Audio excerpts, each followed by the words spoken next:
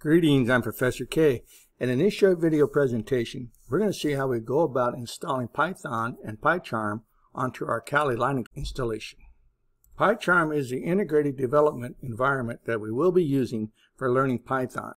So the first thing we're going to ensure is that we have network access, and that means access to the internet. So to do this, I'm going to go to Devices, I'm going to go to Network, I'm going to check my network settings, and I'm going to ensure that my network adapter is set to NAT. Say OK to that. If you've been keeping up with your Kali updates and your distribution upgrades, then you should already have Python with the latest edition. Let's go ahead and check that. So to do this, I'm just going to bring up a terminal and I'm going to type in Python 3 followed by a space dash dash version. And you'll notice that it comes back and tells me that I do have the latest version of Python, which is 3.8.5. If you would like to check the current version that you have for Python 2, you can just remove that 3 and type in Python space dash dash version, hit enter, and it comes back and lets you know which version of Python 2 you currently have installed. So if you don't currently have the correct update for your Python, go ahead and run the commands that are inside of the lab file. Beginning with the apt update, move on to the full upgrade, and finally to the distribution upgrade. And then you can move down and you can begin the installation for Python 3 if it did not update to the latest version. So now that we have confirmed that I have the latest version of Python running on my installation of Kali Linux, we can go ahead and move on with installing PyCharm. Now to do this, we're going to go up here to the Applications Launcher, and we're going to launch a web browser. Up in the address bar, you're going to need to go to www.jetbrains.com forward slash PyCharm. Now this is the only authorized site that you can get PyCharm from.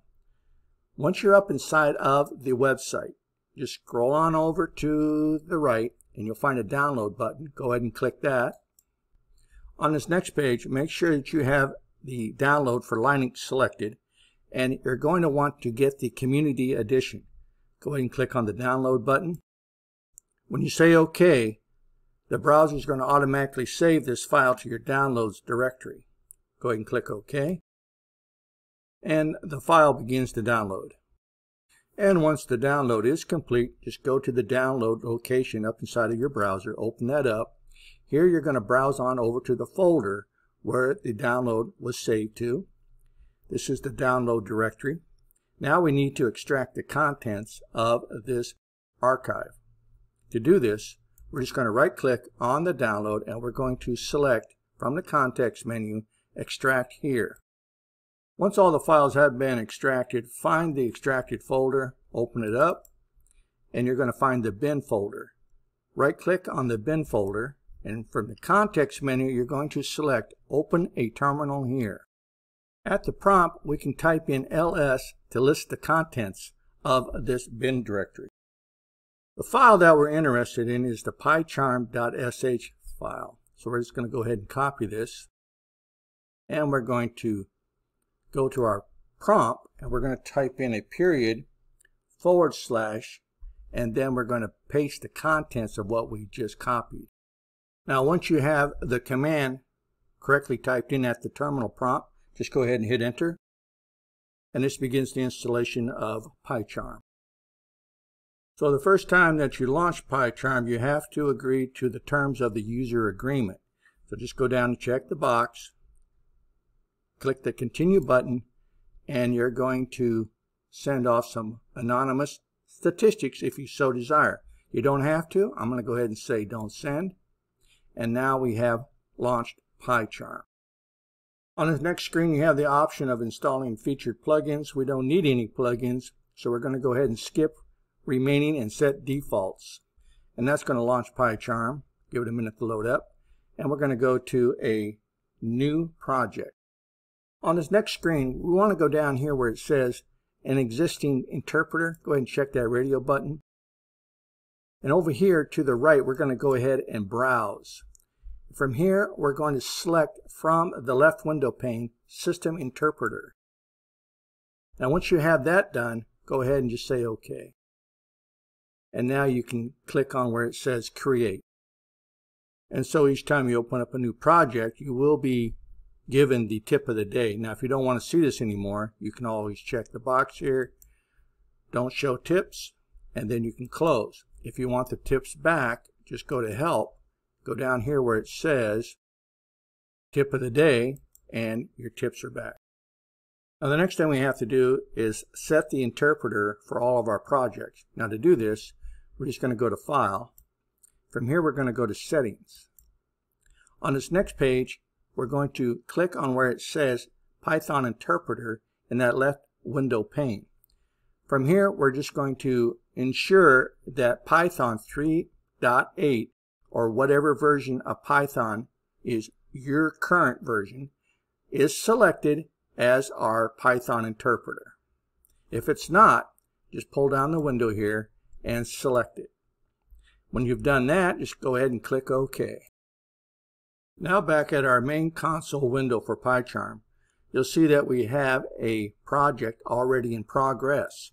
Now this project, when we opened it, automatically created a new file called main.py. And each time you open up a new project, you will get a new main.py file. This file can easily be renamed to something more conducive or user-friendly. Now, we already have in our default file here a very small script that's configured for us that we can run. And to see the results of this, we're just going to go down here and open up a terminal. So you have a couple of different windows that you can watch the results of a script being run. One is the terminal, and the other is the Python console. I'll go ahead and open up a window here for the terminal. And to run this script, which is already configured for us, all I have to do is go over here and click on the Run button. And you'll notice that it comes back down here at the terminal and it tells us, it says, Hi, PyCharm. So if you would like to create a shortcut on your desktop so that you can launch PyCharm a little easier, you can just go to Tools, and here you can select Create Desktop Entry. You can create a desktop entry for easier starting PyCharm from a system menu and better desktop integration.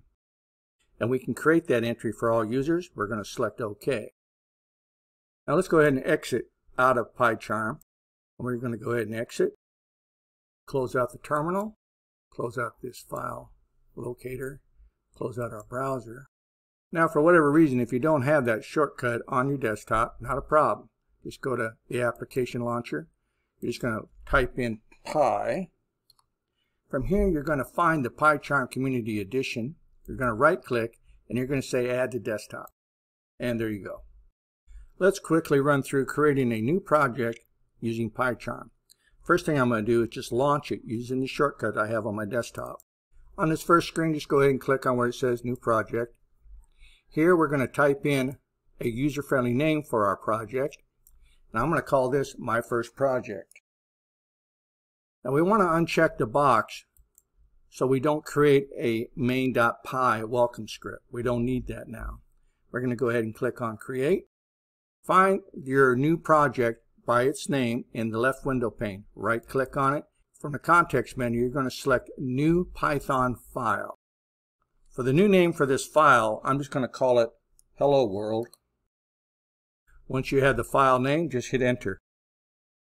Now you'll notice that instead of a main.py file, we have a new Python file that we created called hello-world.py. Now you'll notice that there's nothing inside the script, so if I right click on it and I say run hello world, nothing's going to happen. This right clicking inside of our empty py file allows us to then enable the run and the debug button for our script file up here at the top right. We're now ready to begin writing our first script. Now to do this, I'm going to use a print command followed by a open bracket. And between these two brackets here, I'm going to use a quote. And now between these two quotes, I'm going to type, Welcome to my first Python script. Now if everything is typed in correctly, I should be able to go up here to the right corner and press run and I should see something in the terminal below. And I do. It says, welcome to my first Python script. In the lab file, I have provided you with some more links to learning about Python, as well as being able to find some useful snippets of code that you can just paste into your Py file and then run, and then you can see the results. And so that's going to conclude this short video presentation on how we go about installing Python and PyCharm, which is going to be our integrated development environment for creating Python scripts.